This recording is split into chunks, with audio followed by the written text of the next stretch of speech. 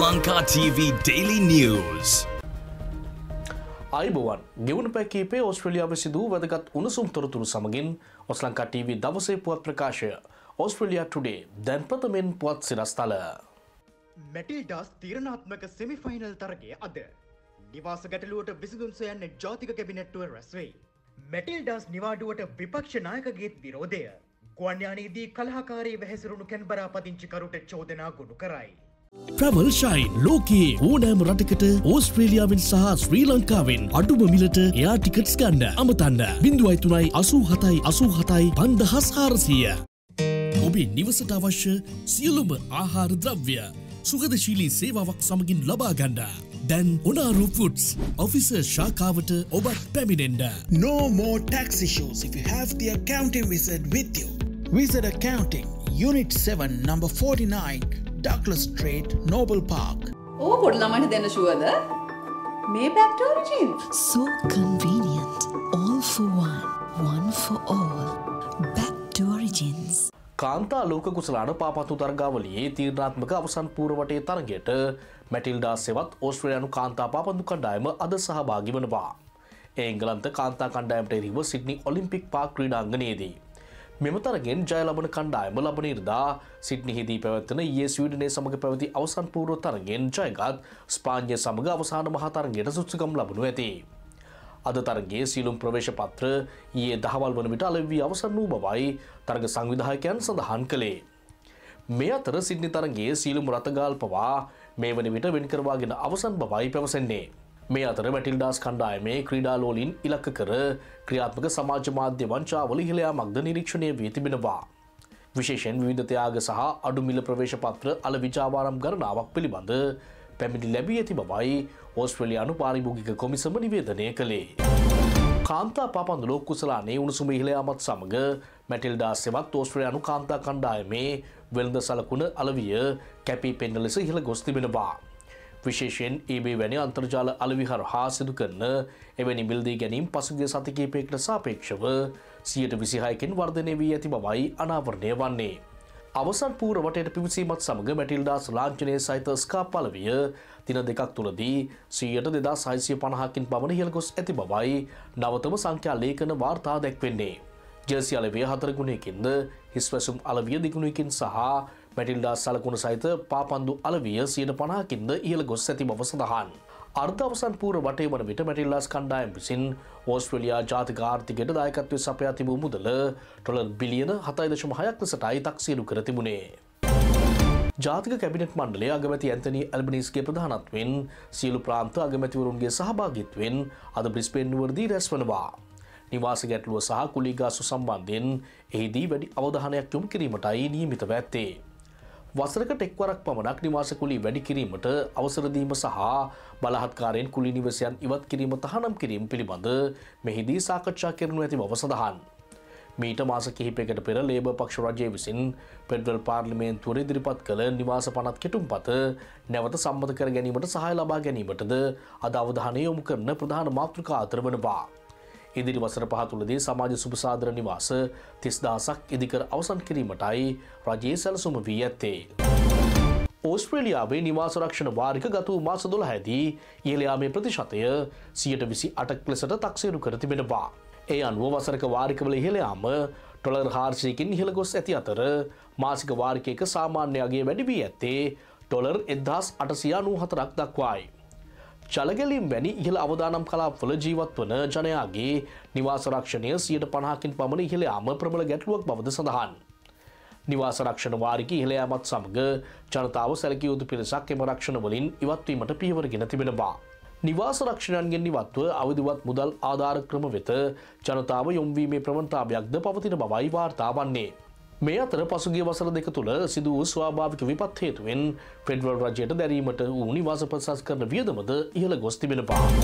Matilda හෙවත් ඕස්ට්‍රේලයා කාන්තා පාපන්දු කණ්ඩායම මෙවර ලෝකුසලානේ ජයගත හොත් මුළු රටම නිවාඩුදීමේ යෝජනාවට විපක්ෂ ලිබරල් සන්ධානයද විරෝධය පල කරනවා. විපක්ෂනායක පීටඩන් අවධාරණය කරන්නේ මෙය අගමැති ඇන්තනි ඇල්බනිසිගේ දේශපාල ක්‍රීඩාවක් පමණක් බවයි.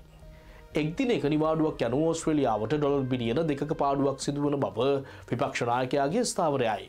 කණ්ඩායමේ ජයග්‍රහණය තමාගේ පුද්ගලික ජයක් ලෙස හවා දැක්වීමේ පටු උත්සාහයක් අගමැතිවරයා නිර්තව සිටින බවද පීටඩර්න් චෝදනා කරනවා. මෙම නිවාඩ යෝජනාව නැශල්ස් පක්ෂයද මේ වන විට විරෝධය පල කර තිබෙනවා. මැටිල්ඩාස් කණ්ඩායම සහ ඉංගලන්තය අතර අවසන් පූරවටේ තරගය හෙට සිට්නිහිදී පැවැත්වීමට නීමිතයි. සිට්නි නුවරින් මැලේසියාව බලා ගුවන්ගත වූ මැලේසියානු ගුවන් සේවයට අයත්යානයකදී කලහකාරිල සැහැසුන්න පුද්ගලයාට එරහිව චෝදනා ගුණ කර තිබෙනවා. කැන්බරාහි පදිංචි හතලිස් පස්සවැරදි අයකුට මෙලෙස චෝදනා ගුණු කර ඇති අතර ඔහු අද සිට්නි අධිකරණය වෙත ඉදිරිපත් කිරීමට නීමිතයි. පුපුරුණ ද්‍රව්‍ය ඇතැයි අසත්‍ය ප්‍රකාශයක් කිරීම ඇතුළු චෝදනා කීපයක් ඔහුට එරේව පවතින බවයි ඕස්ට්‍රලයානු පෙඩරල් පොලිසිය නිවේදනය කළේ. ඊයේ පස්සොරු එකයි හතලට පමණ ගුවන් ගත වූ එම්මච් එකසි විසිදක යානයේ හටගත් නොසස්සුන් තත්වය හේතුවෙන් එය ආපසු සිද්නි ගුවන්තොටපලට හරවාගෙන පැමිණ පස්වර තුනයි හතරයට සිද්නි ගුවන්තොටපලට ගොඩ බස්වා ඇති බවයි සිද්නි බලධහරින් සඳහන් කළේ. පස්සොරු හය ඇතිහට පමණ සියලුම් මගින් ගුවන්්‍යානයෙන් ඉවත් කර බවයි ඔස්ට්‍රලයානු පෙටවල් පොලිසිය කියා සිටියේ. මෙහි මගින් එකසි අනු හතර දෙනෙකු සිටි අතර මෙම සිද්ධිය හම්වේ සිද්නි ගුවන්තොටපලට පැමිණ සහ පිටත් වන සියල් ගුවන්්‍යානාවල ප්‍රමාධයන් දහට ගෙන තිබුණා. මේ අතර මෙම සිද්ධියට ප්‍රතිචාර දැක්වීමට පැතුනකට ආසන්න දීර්ඝ කාලයක් ගත කිරීමට සම්බන්ධයෙන් එල්ලවන චෝදනා ඕස්ට්‍රලයානු ෆෙඩරල් පොලිසිය ප්‍රතික්ෂේප කරනවා. සියාරමුණ ගුවන්්‍යානා තුළ සටන්වීමක් ඇතිකිරීම නොවන බවත් මගින්ගේ ආරක්ෂාව ප්‍රමුඛතම කාර්ය බවත් ඕස්ට්‍රලයානු පෙඩරල් පොලිසිය අවධාරණය කරනවා. කැන්බරාහි තදාසන්න ප්‍රදේශවල පොදු පාසල් තුළ පවතින ගුරුපුරප්පාඩු හේතුවෙන් විදේශ භාෂායි ගැන්වීමට බාධා මතු වී තිබෙනවා. පාසල් දහතුනක ගුරුහිගයක් කම්වේ තැනටමත් විදේශ භාෂා ඉගැන්වීම සිය විෂය නිර්දේශයෙන් ඉවත් කර ඇති බව සඳහන්. ACT ප්‍රාන්තය තුන ශ්‍රේණිය සිටාට ශ්‍රේණිය දක්වා සිසුන්ට චීන ඉන්දුනීසියානු චපන් කොරියානු ප්‍රංශ ජර්මානු ඉතාලි ස්පාඥ්ඥාන භාෂාවලින් අවම වශයෙන් එකක් හෝ විෂය මාලාව තුළ දීගෙන ගැනීම අනිවාර්ය වනවා. කෙසේ වෙතත් පවතින ගුරුහිගිය හම්වේ ඔවුන්ගේ මයිතිවාස්කම් උල්ලංගනය වී ඇති බවයි පැවසෙන්නේ. ප්‍රාථමික සිසුන් සතියකට විනාඩි හැටක් සහ උසස් පාසල් සිසුන් විනාඩි එකසේ පනාක විදේශ භාෂා ඉගෙන ගැතියුතු ලෙසයි විශේමාලා සකස් වී ඇත්තේ.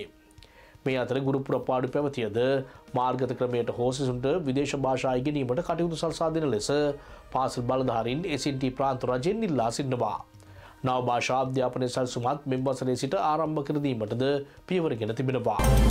ඉන්දුනිසියා මුහදේදී අතුරුදහන් වූ ඕස්ට්‍රලියයානු හතර දෙනා නිරුපද්‍රිතව සොයාගෙන තිබෙනවා. ඔවුන් ගමන්ගත් බෝට්ටුව අපදාවකට ලක්වීමත් සමගයි පසුගේ ඉරිදාරාත්‍රිය මෙන් පිරිස අතුරදහන් වූයේ.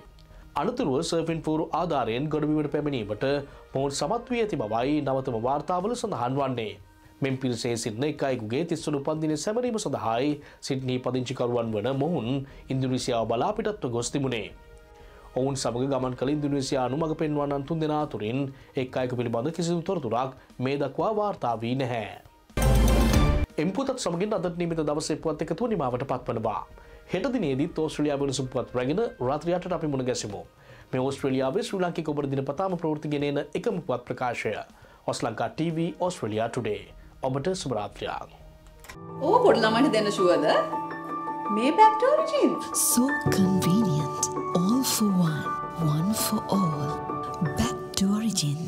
Back to origins. ප්‍රවල් ශයින් ලෝකයේ ඕනෑම රටකට ඕස්ට්‍රේලියාවෙන් සහ ශ්‍රී ලංකාවෙන් අඩුම මිලට එයා ටිකට්ස් ගන්න අමතන්න බිඳුවයි තුනයි අසූ හතයි අසූ හතයි පන්දහස් හාරසීය.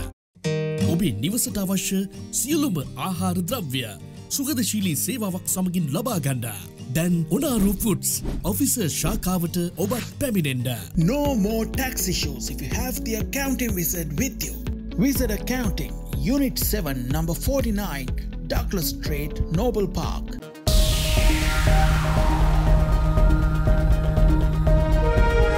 Oz Lanka TV Daily News. ඔබ වෙත ගෙන ආවේ